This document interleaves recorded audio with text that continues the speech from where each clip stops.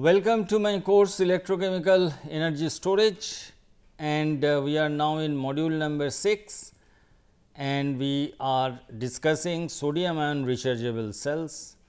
And this is lecture number 27. In the last lecture we talked about the positive electrode material, um, the umbrella of uh, materials uh, for its use in sodium ion batteries and here uh, in this particular lecture we will be talking about the negative electrodes and which basically includes carbonaceous materials, alloy based materials and some other significant uh, other materials.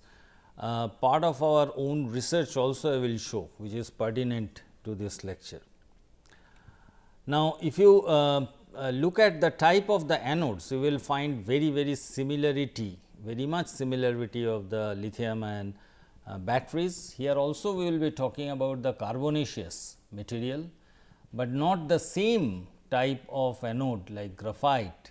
It has certain problem. We will discuss that, that uh, graphite you can, cannot use as anode for sodium ion battery. Uh, certain alloys uh, we will be talking about conversion types of material and organic material. So, these are the anodes for sodium ion battery. Uh, out of this carbonaceous material, they go for this intercalation mechanisms. Uh, only hard carbon, if you pick up any paper on sodium ion battery or any standard text from a monograph, you will find that they have only talked about hard carbon or expanded graphite but less on alloy type of anodes or conversion types of anodes, organic anodes and uh, certain simple oxide material which is conversion type of anode like copper oxide that we have recently have done some work with promising results. I will just uh, touch uh, to show that this also can be used for sodium ion battery. You can imagine it will be it will be able to produce a very cheap battery copper oxide is a very well known material and if you take Prussian blue for example, on the other side uh, reasonable good sodium ion battery for the renewable energy storage you can easily make using the same facility uh, that you use for coin cell or cylindrical cell or pouch cell which already I have described part of my other lectures. Now, this anode material um, you can also in half cell con configuration you can use uh, uh, sodium metal and you can calculate uh, its uh, estimate its uh, capacity is about 1165 milliampere hour per gram. But this sodium metal cannot be directly used as anode uh, because of the same problem which is dendrite formation which is much more aggravated in case of sodium metal uh, if you use as anode. And this this uh, this is extremely um, reacts aggressively with the electrolyte. And also it is low melting in case of if we abuse the battery if there is a hot spot um, if the temperature is raised it is having a low melting point which I already talked about 97.7 degrees Celsius. That leads to safety problem. So, therefore, number of other materials they are investigated to find out the appropriate anode for sodium ion battery. So, here you can see we have a four class of material. One is carbonaceous material, you are familiar with it. Alloy type of anodes, you are also familiar with it when uh, you have studied the lithium based um, anode materials for lithium ion batteries. Organic material, uh, some of them they are useful and conversion type materials also you know. So, technology wise uh, this is more or less uh, similar type of uh, technology. So, as such uh, it is uh, not very problematic to adopt sodium ion uh, material to lithium ion batteries. Now, if you look at the required properties, um, of course, it should have low molecular weight and low density and be able to reversibly accommodate large amount of sodium ions per formula unit to yield high volumetric and gravimetric capacity. So, that needs no explanation because uh, from the knowledge of lithium ion battery materials you can appreciate that why it is so.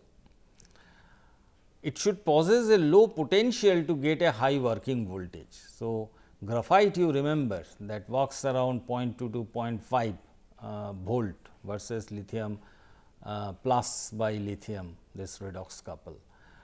Uh, and most of the uh, sodium and uh, cathode material, positive material what you have seen, uh, this lies around 3.8 to 3.3 volt. So, you need to have an anode material which gives you the potential much lower. So, that the voltage window is uh, at least 3 volt.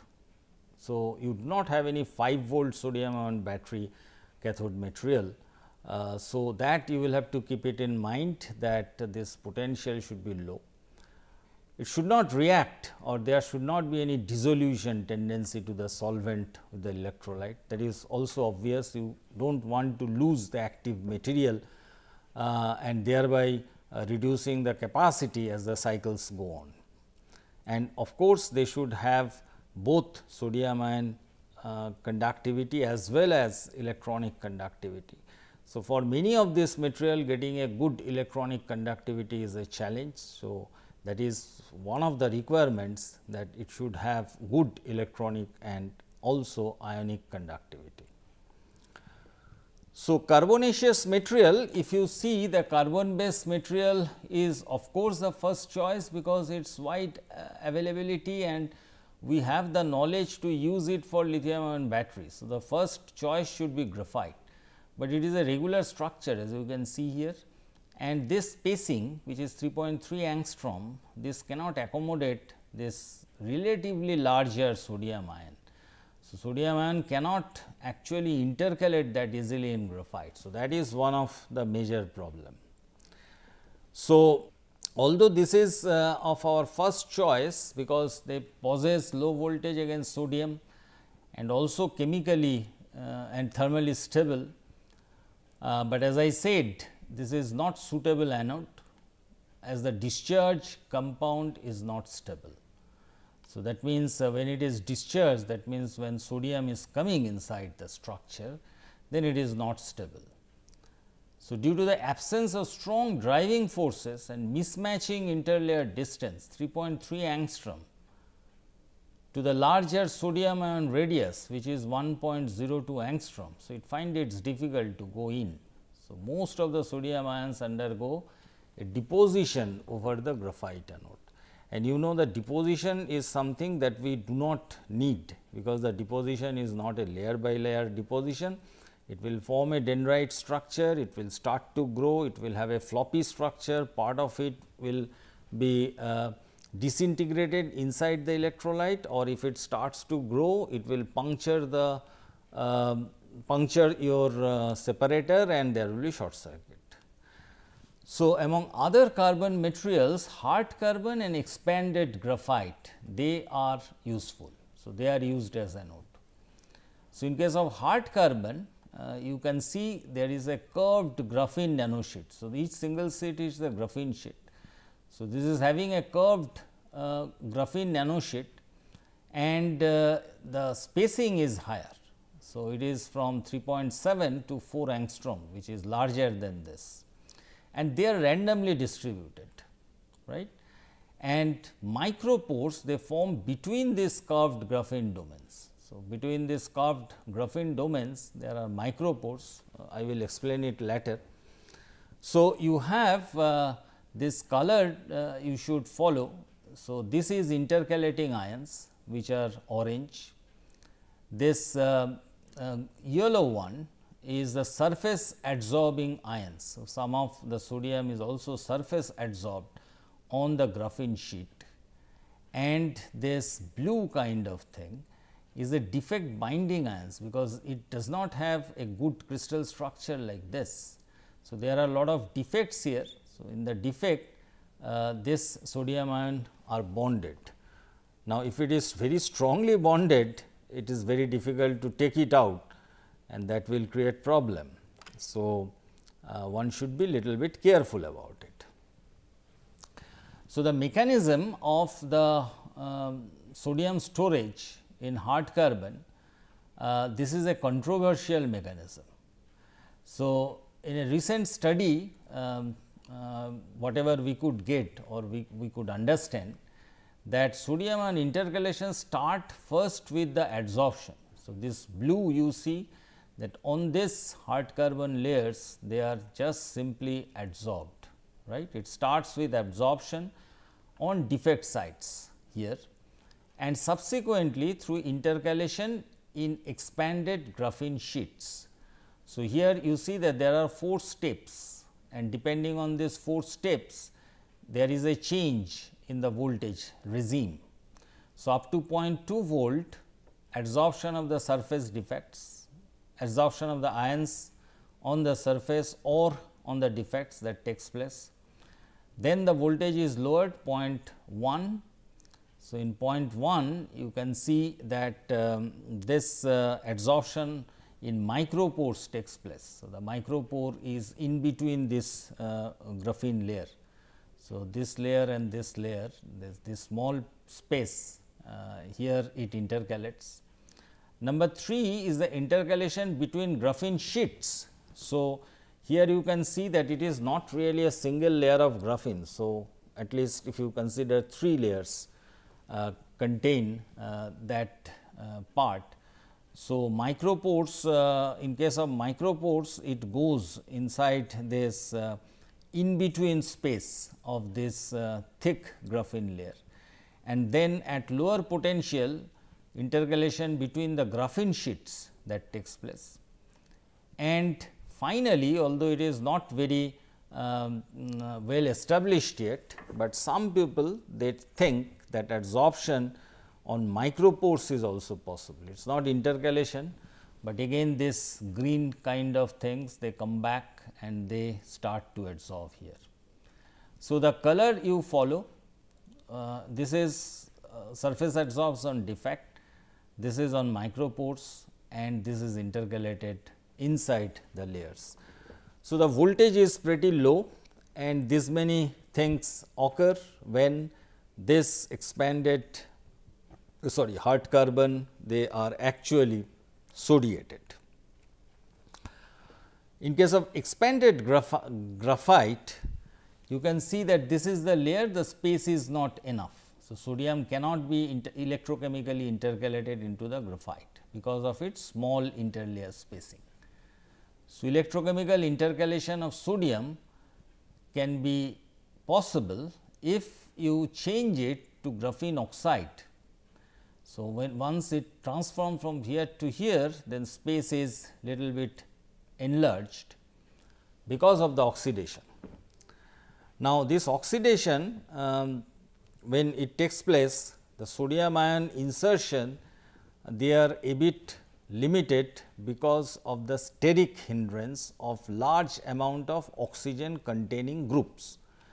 So, oxygen containing groups are here you see that this one uh, and uh, this one this blue one uh, this is uh, the oxygen containing group uh, O and H hydroxyl could be here so, due to although this space is increased, but it cannot go in that easily because of the hindrance of this right. Then what do you do? You again do a reduced graphene oxide. So, once you reduce it then many of these uh, things are removed. So, then a significant amount of sodium can be intercalated into this expanded graphite so, expanded graphite is nothing but graphene oxide. Once it gets reduced, then its electronic conductivity also increases and apart from that significant amount of sodium can exactly be going owing to the suitable interlayer distance and reduced oxygen containing groups in the interlayer. So, that is the concept of expanded graphite and this can be used as negative electrode material for sodium ion batteries. Then we will talk about this alloy type of materials. The same type of material like tin that also can be used here because you know that it forms an alloy with lithium. it forms an alloy with sodium as well.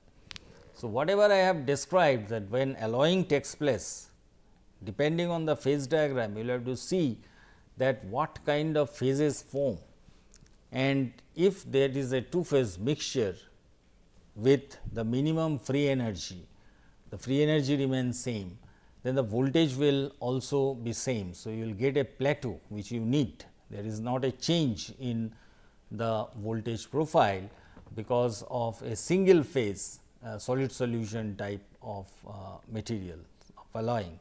So, this is good the same thing happens here.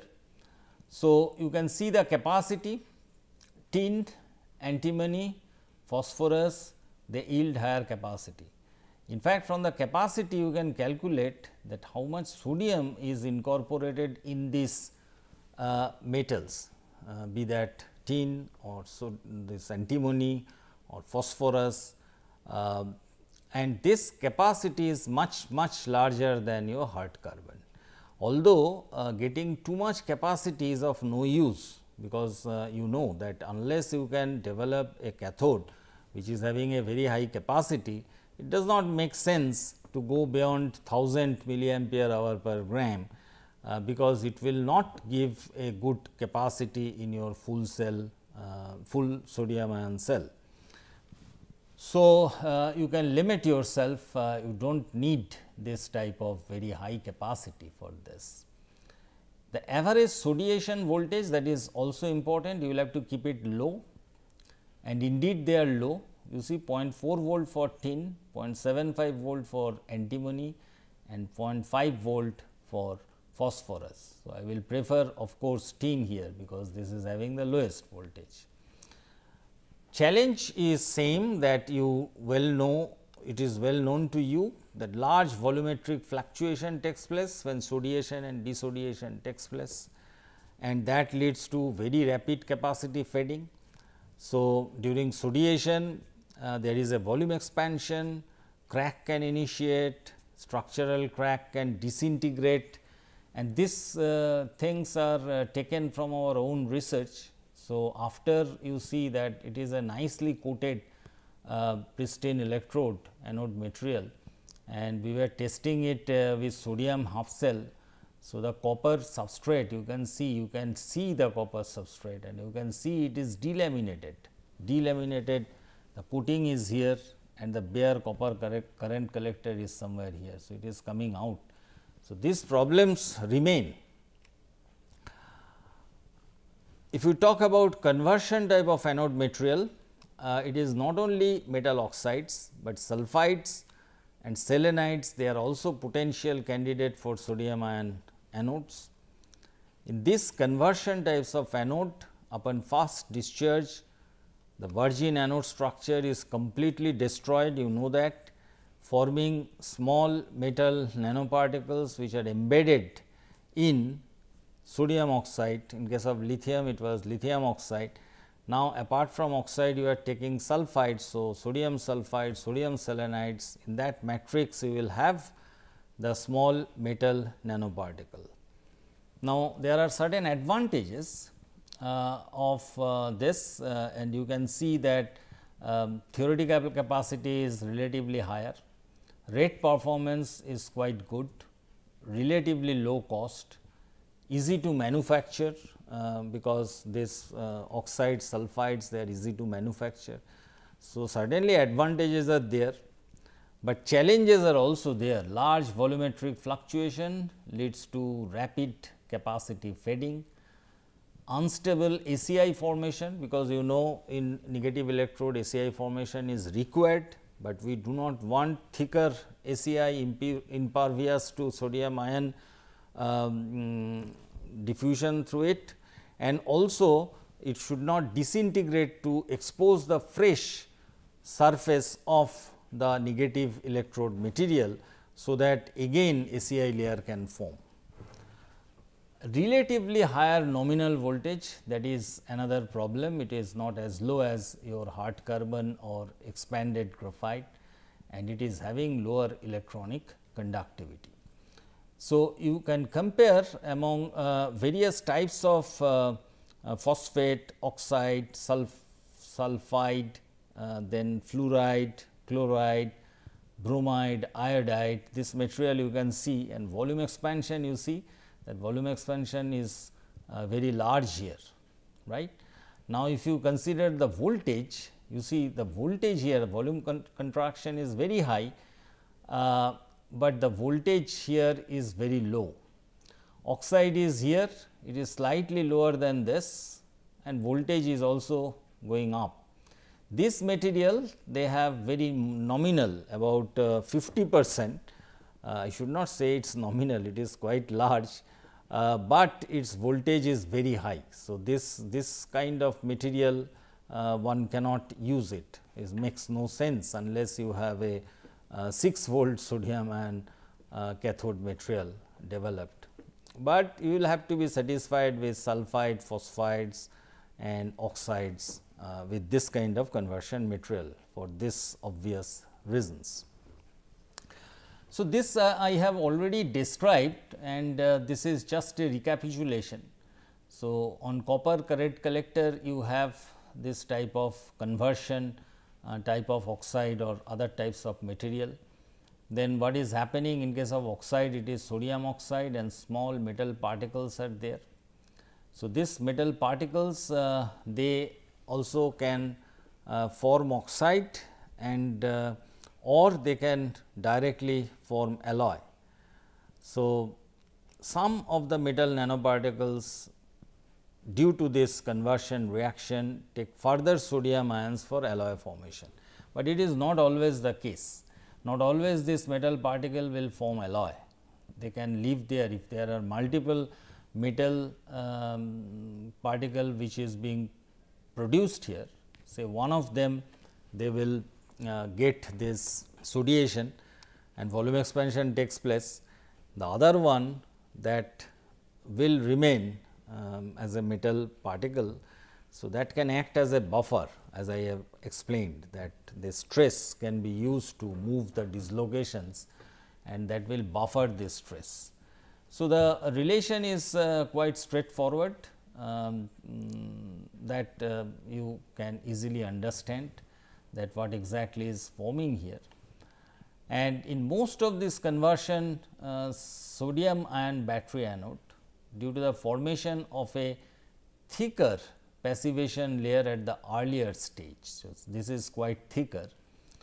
Only the surface of the active material undergoes the conversion reaction, leaving most of the active material unreacted which ultimately results much less specific capacity. So, in order to uh, these things happen, you will have to complete these reactions, right. But if it is surface only uh, reaction, then most of the part will still remain like this, then it is of no use and that is one of the major problems for conversion type of uh, anode material uh, for sodium ion batteries. So, the approaches are uh, very similar to lithium ion battery. One is the engineering morphology, you go for the nano scale synthesis. You can have nanostructured material, not a, a solid uh, nanosphere, but a hollow sphere or tubular kind of thing. You can have a uh, bristle kind of structure or you can have a hierarchical structure uh, to mitigate the volumetric expansion. Or you can uh, add carbonaceous material which acts as a buffer. So, here you can see it is encapsulated it serves two purpose. One purpose is that it can buffer the stress and number 2 being conducting it will improve the rate performance individual particle can be coated with carbon. And third one is to do some kind of engineering when you are preparing the electrode material. In many cases, we have found that electrophoretic deposition is an excellent process of uh, deposition and you can see here uh, a very good quality electrode and uh, if you see this picture, uh, you can even bend it um, bent it uh, across a small pane. So, uh, the stress um, it can withstand that shows that between the current collector and the anode material there is a good adhesion.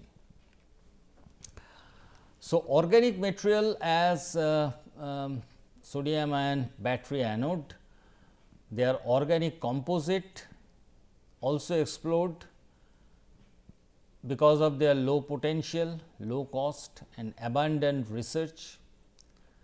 The reported organic materials they mainly include carboxylate based, biomolecular based and Schiff based compounds.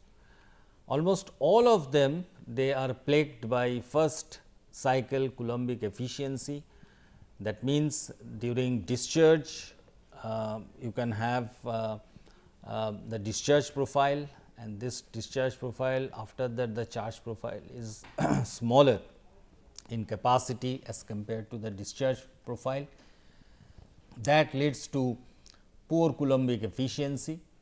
Reversible capacity is quite low less than 200 milliampere hour per gram. Cyclability is not that good, rate performance is also not that good, but one thing you will have to remember that this organic material has just been introduced and there are lot of uh, scope for further research. So, one such material this carboxylate based disodium terephthalate, it is abbreviated as Na2TP that show a low insertion potential about 0.9 volt versus sodium redox couple.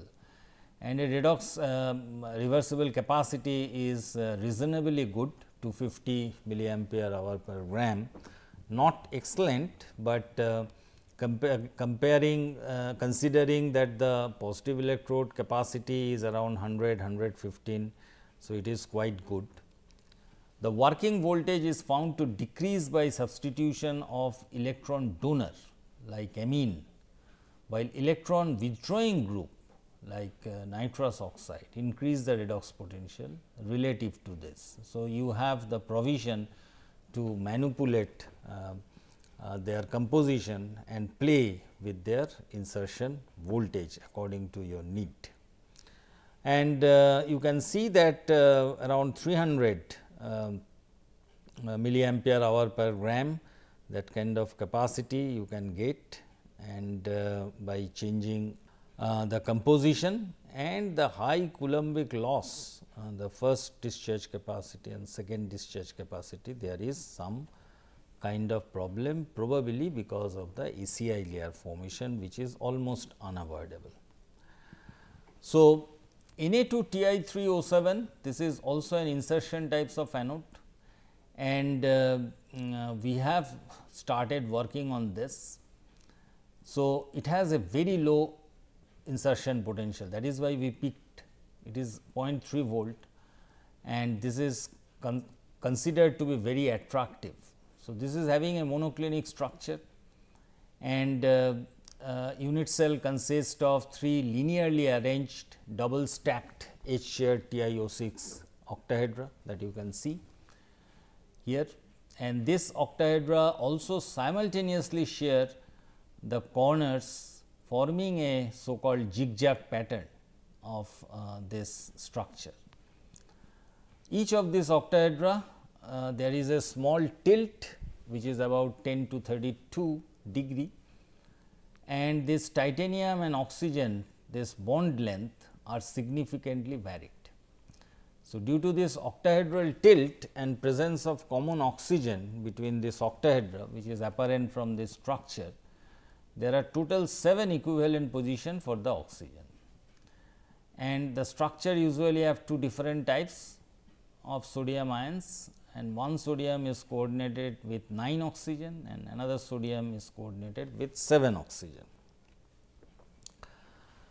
So, in spite of this fascinating electrochemical properties, I mean it should be, uh, electronic conductivity is very low for this material. So, as you can see in the first discharge, there is a plateau which is uh, at quite low voltage, uh, but there is a very huge fall in capacity within the second cycle.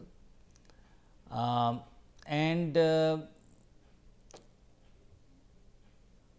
two sodium ion intercalation um, actually takes place and there is a concomitant reduction of uh, titanium 4 to titanium plus 3. So, this intercalation again when it takes place that triggers a structural phase transition in this material. So, it is quite complicated.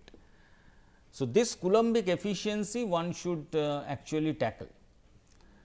So, that is attributed to decomposition of the electrolyte uh, that is possible on the surface of the anode, irreversible sodium ion trapping either into the carbon black or in the surface defect. So, they are not coming out during uh, charging of the uh, during discharging of the batteries and insufficient deintercalation of sodium ion from the discharge product uh, which is now Na4 Ti3O7.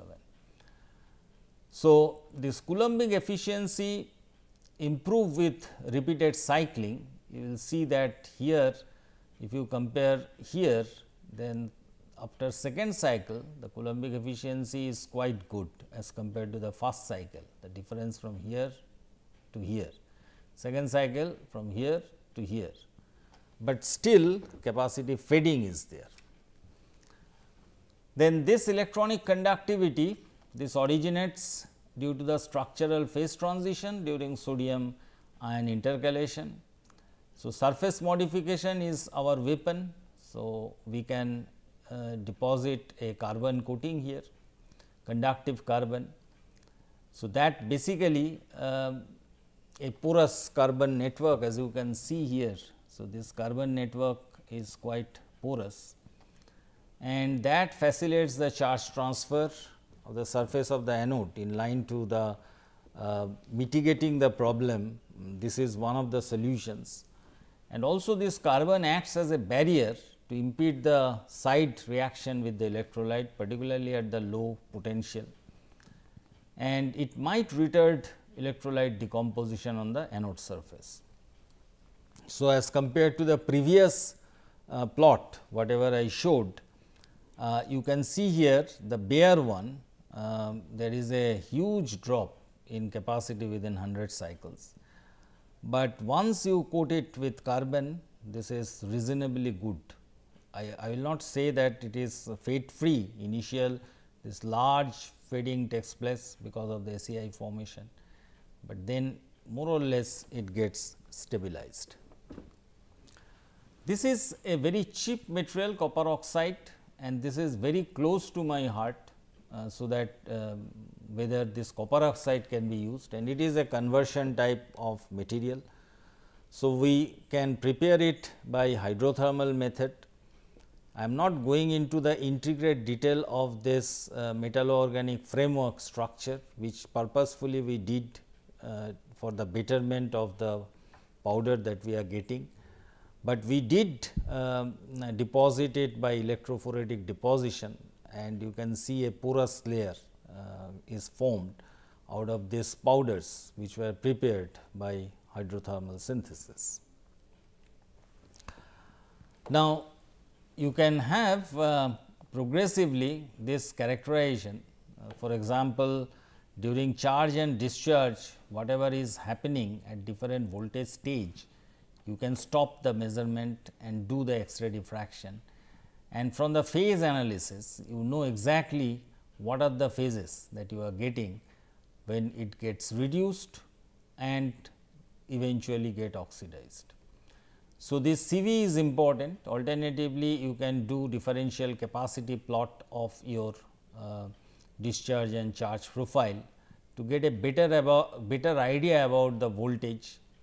So, based on this X-ray diffraction study and also uh, uh, the cyclic voltammetry, we can have this discharge and charge uh, reactions what is going on at different voltages. So, I am leaving it on you to understand this. So, you know that it is not a direct conversion of sodium ion and copper right. So, you can have different phases here and we could identify this phase through the X-ray diffraction analysis. So, at which voltage what reaction is going on if you do this simple set of measurements CV this one and this one then you can actually write these equations. So, try to redo it because you know that what are the phases that is being formed at different charge and discharge cycles. You can easily see that what are the voltage uh, uh, shows the signature of this reaction. So, only thing you will have to predict that what is exactly being formed. Now, if it is crystalline it is very uh, easy for you to identify through X-ray diffraction, but if it is not crystalline uh, then the that will make your life little bit complicated. So, finally, you see that uh, mm, again this copper reacts with sodium to form copper 2 oxide and copper 2 oxide and sodium oxide they forms again back this CO. So, this is uh, a bit different types of mechanism uh, that you can see it is not directly forming any alloy, uh, but it is uh, the oxide that is forming. I will I will ask you to go through this reaction and try to understand from the CV plot. But eventually uh, what you are seeing that uh, this um, discharge capacity is quite good up to 200 cycles uh, as compared to the other sodium ion data that we see. And uh, the Coulombic efficiency is also quite good. And if you compare this with your tape cast electrode, you see the it almost fade within 20 cycles. So, indeed this processing um, has a strong, strong influence on the electrochemical properties. The addition is very important because you know the uh, volumetric expansion etcetera is going on. So, you should have a very strong adherence between the current collector and the uh, active material of your anode. So, I would like you to um, uh, go through this book which very recently uh, we have published and uh, uh, many new types of material we have proposed along with that we have reviewed all the anode and cathode materials and also the electrolyte material which I will cover in my next lecture. And uh, there are certain uh, publication.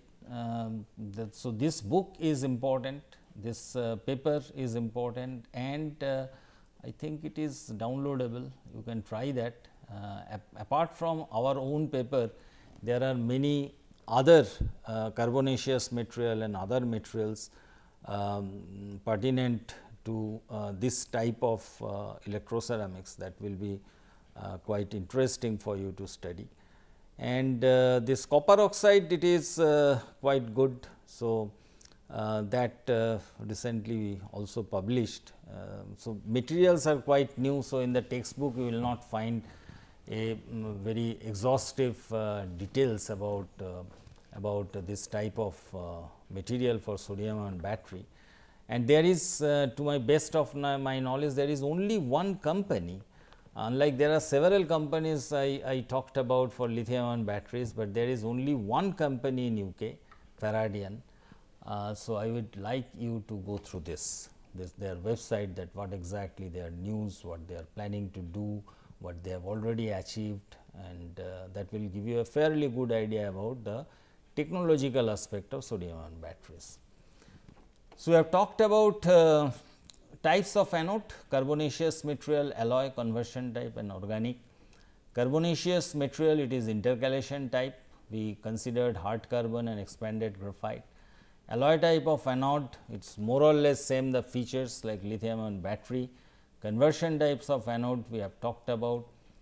Organic anodes we have just touched and this two material as a case study very recently, uh, we have done some work on these materials and I thought that I should share with you, so that you can uh, from the knowledge that you are gaining through the lecture, you can just uh, correlate that experimentally laboratory based research what exactly you are getting.